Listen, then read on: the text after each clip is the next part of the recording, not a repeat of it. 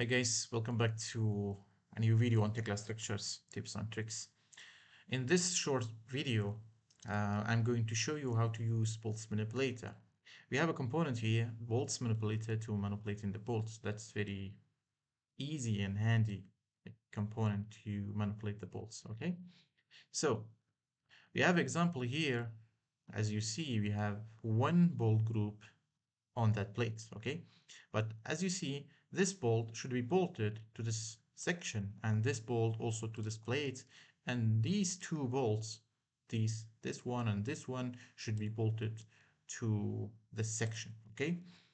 But it is not possible to um, to bolt a single bolt in a bolt group to a section, uh, a, a different section, okay? So if I select the single bolt, okay, I select that single bolt, right click, as you can see, there's no bolt part option. That means it is it is impossible to use bolt parts uh, for a single bolt, okay, in a bolt group. So for that reason, uh, I'll use bolts manipulator. I'll exploit uh, the bolt group to four bolt groups. Okay, okay, select the bolt group and use ungroup bolts. As you see, I'm selecting bolt group. As you see, this is four. We have here four bolt groups, and now I can use bolt parts. Okay, so I'll use this bolts, bolt parts, select pick bolts to bolt to, and it, it means the main part. This is the main part the section, and the second, second select the secondary part. This is a plate, okay, and middle button. Okay. Uh, this is bolt. I'll change it to bolts. Okay, as you see. Okay, that works well.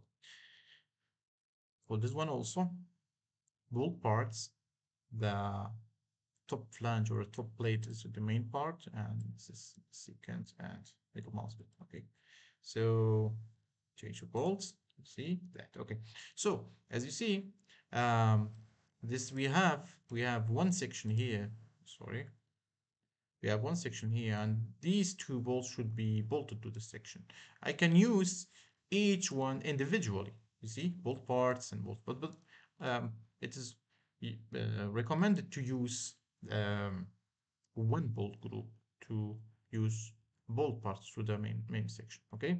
So i'll use uh, also bolts manipulator to create a new bolt group from the selected single bolts okay so i'll select this one and this one and create a group okay as you see this is one group right click bolt parts main part and secondary parts and change to bonds.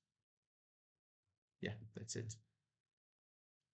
As you see, this is uh, very handy. And we have another options, but uh, the purpose of this video is to introduce bolt manipulator to create bolt new bolt groups and exploit the existing bolt groups. Okay, this is the end of this video. I hope you guys got something new.